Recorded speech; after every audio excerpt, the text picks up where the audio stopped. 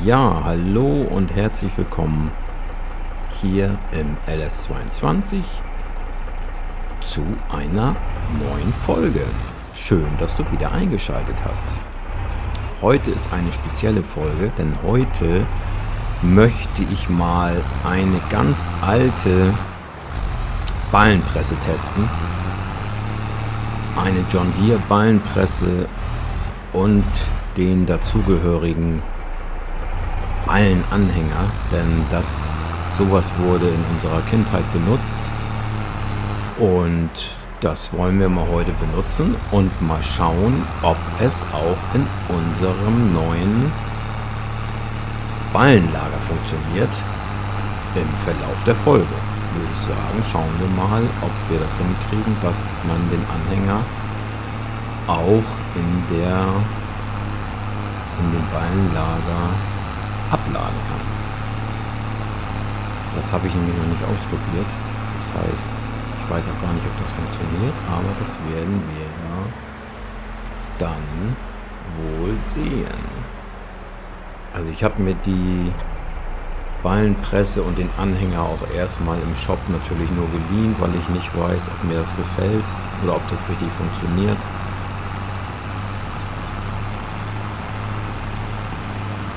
Deswegen sind die Geräte nur geliehen.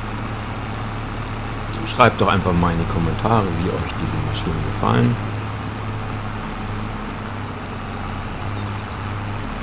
Mir gefallen sie auf jeden Fall ganz gut. Bis jetzt, denn technisch ausprobiert habe ich sie ja noch nicht. Aber auf jeden Fall vom Aussehen und wenn die Funktion so ist, wie es eigentlich sein sollte, dann sind es, ist es eine schöne Maschine, um sie hier auf unserem kleinen Hof zu benutzen. So, jetzt sind wir schon an der Wiese angekommen. Da habe ich schon Heuschwaden gelegt. Und jetzt würde ich mal sagen, probieren wir erstmal. Jetzt müssen wir erstmal die Maschine ausklappen. In den Arbeitsmodus. Und dann geht's mit dem Ballenpressen auch schon los. So, anschalten, Pickup senken. Und dann schauen wir mal, wie das hier funktioniert. Wir nehmen einfach mal die Innenbahn. Oh, auch sehr schöne Animation von dem, von dem Presswerk. Oh, da kam der erste Bein. Wahnsinn, wie das hier läuft. Das funktioniert ja 1A. Das sieht ja das sieht ja top aus. So, ich mache das mal so, dann könnt ihr ein bisschen sehen, wie das hier funktioniert.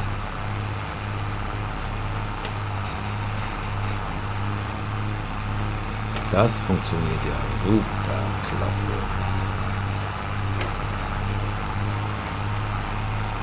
Das muss man ja sagen, das sieht ja richtig genial aus. Also das... Alleine, dass man das schon sehen kann, wie die Ballen da fliegen. Dafür hat sich das Runterladen der Presse schon auf jeden Fall gelohnt. Gut, der muss sagen, der Schwarteinzug, der ist ein bisschen schmal. Also da müsste man wahrscheinlich eine kleinere, müsste man wahrscheinlich auch einen alten Schwader benutzen, dass der kleinere Schwart macht. Oder man muss versuchen natürlich hier 100.000prozentig in der Mitte zu fahren. Dann kriegt er auch alles mit. Aber ist ja genial, wie Dinger hier fliegen. Das sieht ja... Das sieht ja richtig gut aus.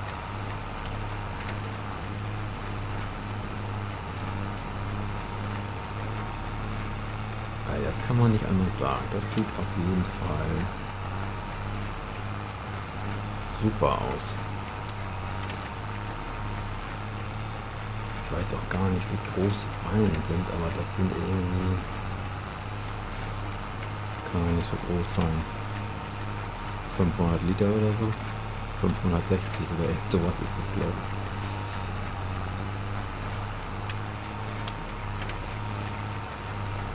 ich. Aber ist ja geil. Das ist, das ist richtig gut. Das gefällt mir. Das ist ein richtig, eine richtig coole Presse.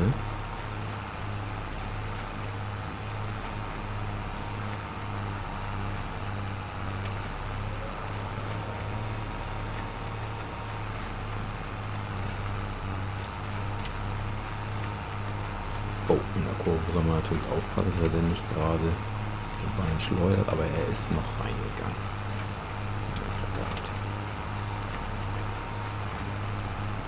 Ja, da geht einiges an Ballen rein, aber das sind auch, glaube ich, kleine handliche Ballen, die kann man auch, so war das zumindest früher in der realen Landwirtschaft, die kann man natürlich auch super gut per Hand verladen oder auf dem Heuboden packen. Mussten wir früher immer als Kinder machen, haben wir die Dinger immer gestapelt auf dem Heuboden oben. Da gab es noch so ein schönes Transportband, da musste einer auf dem Anhänger stehen und der andere hat unten die Ballen immer aufs Band gemacht und dann oben musste man die in Empfang nehmen und dann wurden die auf den Böden früher richtig schön gestapelt. Dass man für die Tiere im Winter immer genug Heu und Strohballen natürlich auch. Ne? Also diese Presse kann natürlich auch Strohballen pressen. Nicht nur Heu, aber ich mache jetzt hier Heu, weil das brauchen wir auf jeden Fall für unsere Tiere für Mischfutter.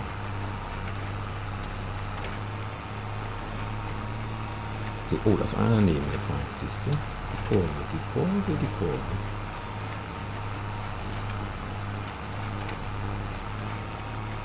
Gut, den kann man nachher auch noch so einsammeln.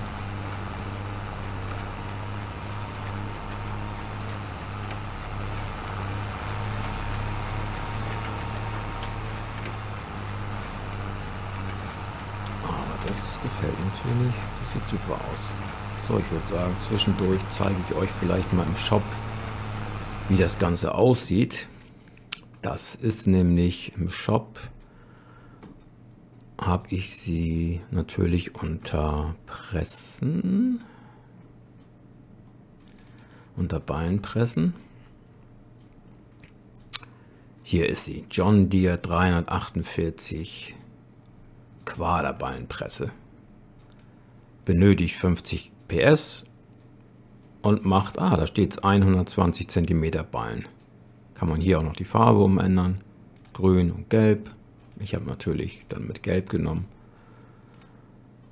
Und dann gibt es noch den Ballenladewagen dazu.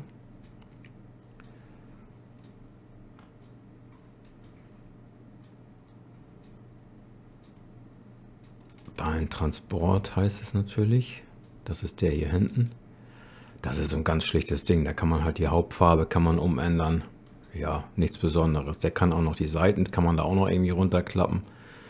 Wenn man den jetzt direkt am Trecker dran hat, kann man da auch noch die Seitenteile aufklappen. Zum Beispiel, wenn man den per Hand ausladen will. Vorne kann man das, glaube ich, auch noch ein bisschen runter machen, so wie ich das nachgeguckt habe. Ja, so sieht das Ding auf jeden Fall aus. Und ich finde, das macht echt Laune.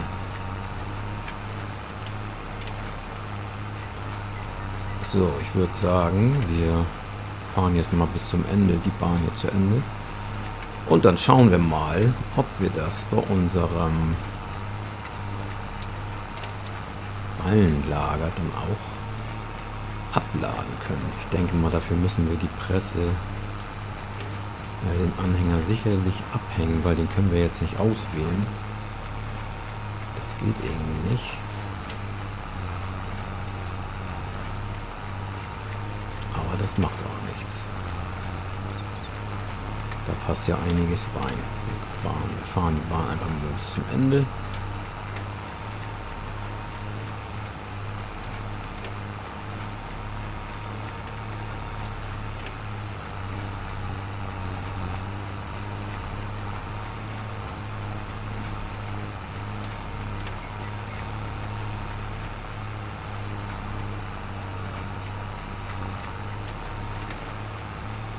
Macht hier auch seine 9 km/h, kann man damit fahren. Sieht auch ganz entspannt aus. So, dann würde ich sagen, wir sind hier am Feldende angekommen. Dann machen wir das mal kurz aus. So, den haben wir jetzt abgehängt. Können uns ja eigentlich, können wir auch mal schnell den zweiten Trecker holen. Dann geht es ein bisschen schneller. Dann brauchen wir nicht immer mehr fahren. Dann nehmen wir mal unseren Fendt hier. Den guten Fendt-Favorit. 824.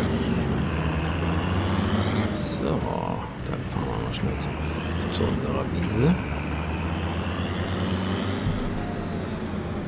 Und dann schauen wir mal, ob wir die hier in den Ballenlager abladen können. Das wäre natürlich gigantisch. Ne?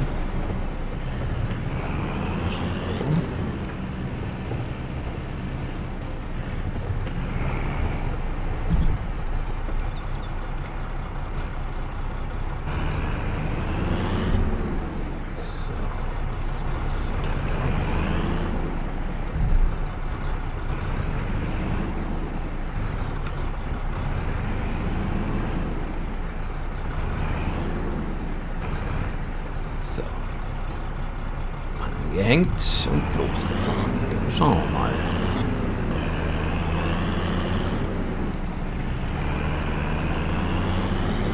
Ui, die purzeln hier aber durch die Gegend. So, jetzt sind wir hier. Also ein bisschen dezent. Versuchen, das mal zu parken.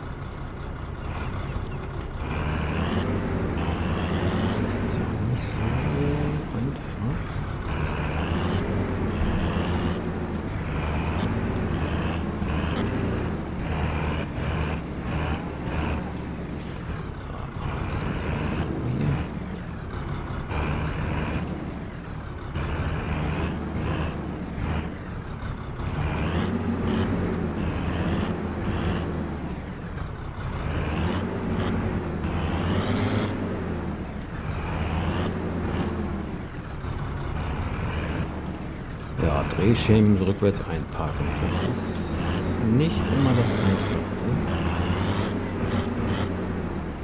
So, jetzt wir